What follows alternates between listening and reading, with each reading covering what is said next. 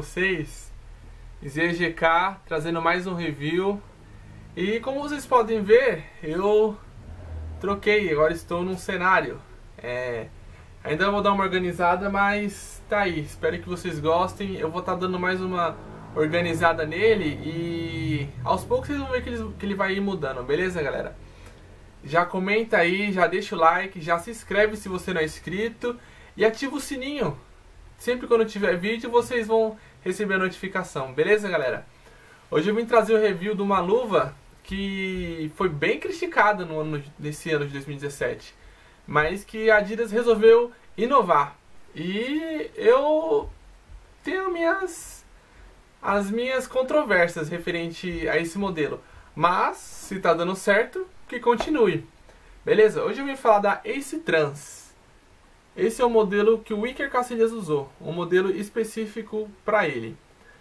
Eu vou estar tá falando um pouquinho dela e assim, é uma luva muito boa, só que de cara já te digo, ela não vale o que ele é vendido aqui no Brasil.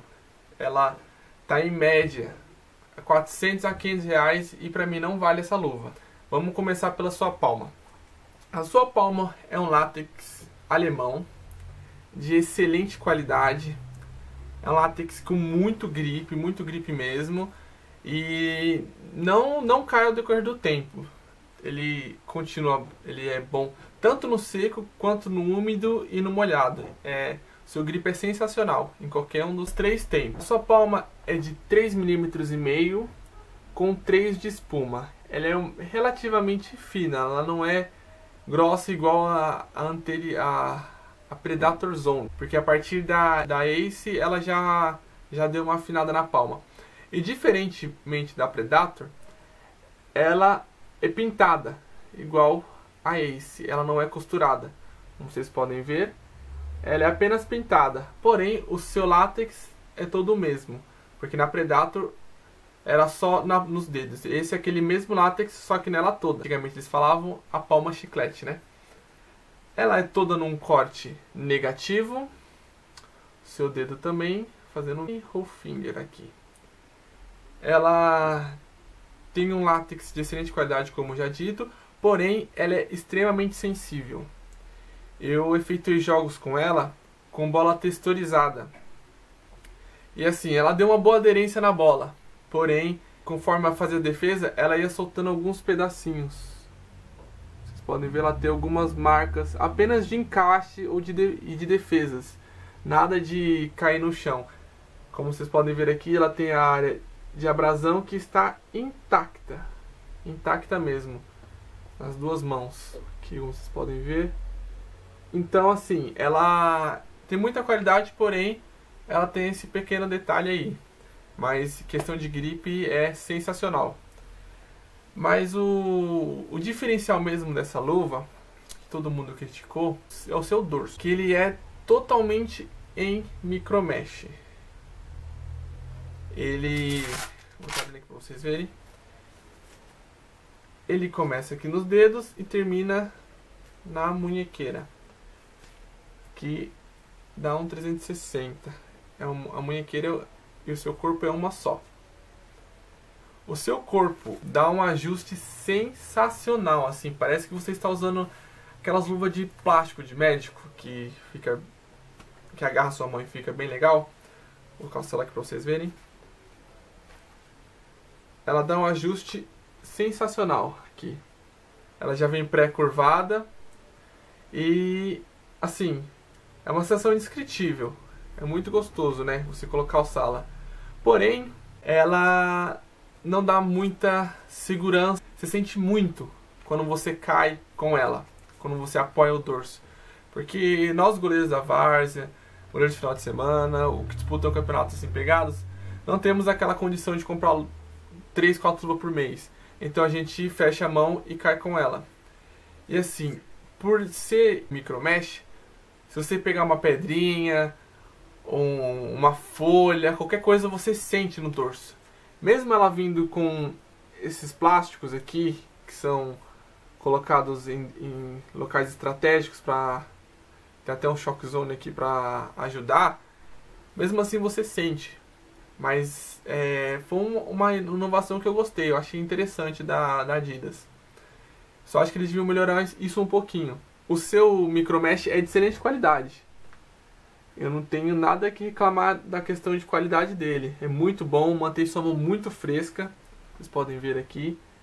E ele não desfia, não desfia fácil. Tem acho que dois lugares que desfiaram aqui na lateral. Só que na lateral perto do, da área de abrasão. Mas isso é normal. E, e por ser em, em micromesh, houve algumas bolinhas por ter pegado no, no velcro aqui. E é uma, assim, uma excelente luva. O único problema que eu tive é que essa entrada dela é muito pequena, esse elástico. Eu tive que fazer dois cortes para poder entrar. Esse tamanho é um tamanho 10,5. Eu geralmente uso 10, 10,5. Então ele, ele ficou bem. Ficou bem na minha mão, assim, eu gostei. E um ponto negativo seria nesse, nesse nome da Adidas. Ele trinca muito fácil. Vocês podem ver aí.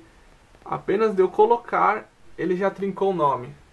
A sua cinta é em elástico, porém eu não gostei muito da qualidade dela. Ela começou a criar bolinhas. Isso me deixou um pouquinho triste, né? Porque antigamente ela não, não acontecia isso. Ela vem com dois pontos de fixação, que ela é uma de duas voltas, né? Porém, a Adidas acho que para baratear ela, para eles no caso, trocou a os velcros, não é aquele mesmo de antigamente, então ele não é não é de excelente qualidade assim. Mas é uma luva bem construída. Eu acho que eles pecaram um pouquinho nessa questão do dorso e na munha e na cinta, mas nada que afete diretamente na luva. Para quem gosta de luva leve, é uma excelente luva, como vocês podem ver aqui, ela cai muito bem na mão. O grip, ó, tem nem que comentar. E eu aconselho, aconselho assim, quem usa 10, pegue meio, meio tamanho acima, não pegue um, pegue apenas meio. Ela vem com um corte em V, pequeno corte em V, mas que dá bastante mobilidade. E tá aí. Uma luva leve, com muito grip, resistência vai do goleiro, mas como vocês podem ver, se for uma bota esterilizada, ela vai tirar um pouquinho, vai, vai machucar um pouquinho. E tá aí. Ah, reparei uma coisa legal, né? Nesses modelos. Com os dedos não redondos, e sim quadrados. E isso é legal. É legal assim, no, nos quatro dedos. O dedinho sobrou um pouquinho, mas pouca coisa. Mas é. Eu gostei, gostei desse modelo. Vou, vou atrás do, do novo e vou fazer um comparativo. Beleza, galera? Espero que vocês tenham gostado. Qualquer dúvida, só comentar aí embaixo. Qualquer crítica. Espero que vocês tenham gostado. Já deixa o like, se inscreve se você não é inscrito. Comenta, compartilha e só tenho a agradecer. Até quinta-feira. ZGK é nóis.